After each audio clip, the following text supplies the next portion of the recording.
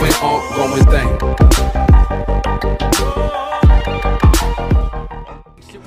What is up guys, Jaysley here back with another video. I haven't been here in a minute, so might as well make a video now.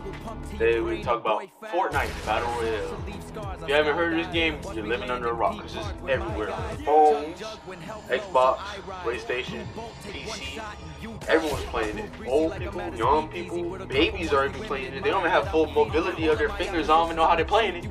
This game is taking over, like really taking over. Everyone's playing it. Everyone won't stop playing it. It's really addictive. If you haven't played it, should play it. It's fun. It's addicting. So you probably won't get off of it in a hot minute, but should play it anyways. Fortnite is a battle royale game, so it's like you get in the lobby, there's a hundred people, and out of a hundred people, only one person will win. That's the last person alive. Drop in from a bus that flies, bus, and you drop down on the uh, on the ground. Get all your loot, guns, your meds, you get whatever you need to survive. You can build stuff. This game is really addicting. Everyone says, oh, one more game, one more game. And that one more game will turn into two more games. Games games. And so on and so on. And Fortnite is really popular for guys, but girls hate it because guys don't text back because we're playing Fortnite. And the other thing we guys do is post our wins on Snapchat. Why do you guys complain so much that we post our wins on Snapchat? Like it's our Snapchat story, we can do whatever we want. Do you understand how hard it is to win a game? If you're an average player, do you understand how hard it is? It's literally a 1% chance of you winning because there's 100 people in the game. And only there's a 1% chance of winning. That is this much is a 1% chance. So yeah, I'm gonna post my wins on Snapchat. I don't care. Personally,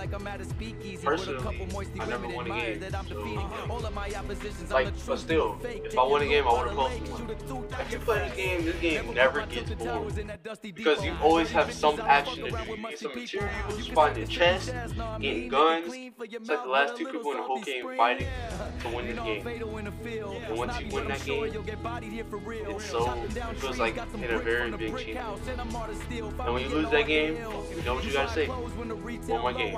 This game is so addicting that parents literally feel like they're losing their kids to Fortnite. This game is so addictive that people are playing Fortnite during a tornado. And I don't know if you heard of this guy called Ninja, but he's probably one of the best Fortnite players out there. And he played with Drake. Drake, yeah, Drake, the rapper. Drake, God's plan. This game is being played everywhere. In pools, underwater, haunted tunnels, and in movie theaters. Now people are making things from Fortnite in real life, like shields, guns, pickaxes, everything. Now me, I'm not complaining about the game at all. I love the game. I play this game 24-7. I literally do. When I'm on the phone with my girlfriend, she gets mad at me because I'm playing Fortnite not giving her no attention. That was just a quick video for y'all. I hope you guys enjoy. Peace.